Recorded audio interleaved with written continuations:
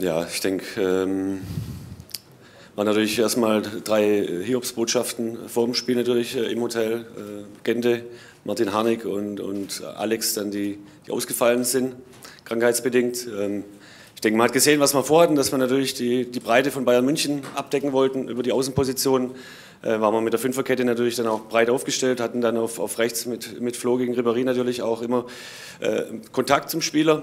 Das hat er einmal, äh, waren wir zu weit weg. Ähm, das hat Bayern dann auch mit dem 0-1 ausgenutzt. Das zweite Tor ähm, macht Alaba natürlich äh, ja, mit, mit, einem kleinen Wackler äh, zu billig. Ja, da hätte man wesentlich konsequenter im, im Verteidigen sein müssen.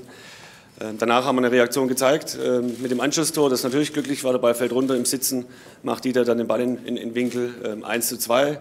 Ähm, wenn Bayern nochmal Costa natürlich von der Bank frisch springen kann und der natürlich dann äh, durchgeht, ähm, macht das 1 zu 3 natürlich klasse.